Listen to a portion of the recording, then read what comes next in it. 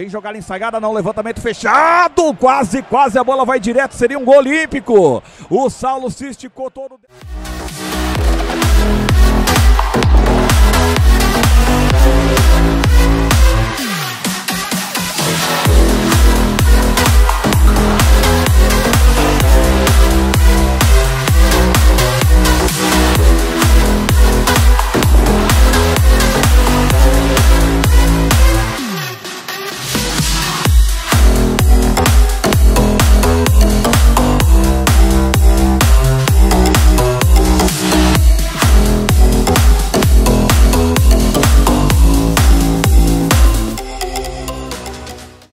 Rodrigues para cima da marcação ali do Lion. Ele protege, cercado por dois marcadores. Chegou roubando ali o Lion. Rouba novamente o Lucas Rodrigues. Último toque foi dele.